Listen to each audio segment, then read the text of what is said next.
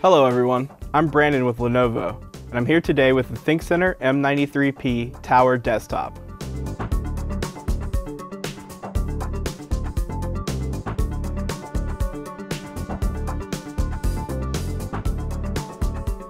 Today we're going to be replacing the coin cell battery. This process will take about 5 minutes and it should be easy enough for anyone to do. There are no tools required, but a non-metallic pry tool might come in handy.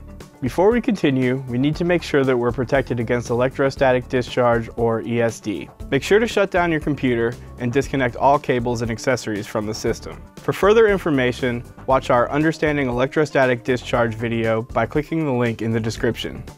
And now that we're ready, let's get started. To remove the front cover, we must first remove two thumb screws.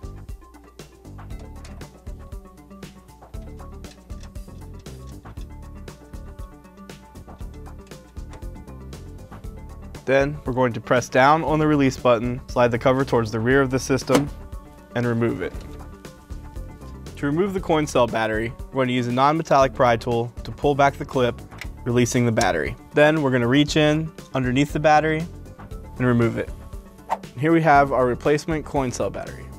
Now we're going to place the coin cell battery into the socket, positive side up, and press down on the battery until it locks into place. When replacing the front cover, we want to assure that the tabs on the cover align with the slots on the chassis. Then we're going to place the cover onto the chassis and slide it forwards to the front of the system. Then we're going to replace two thumb screws.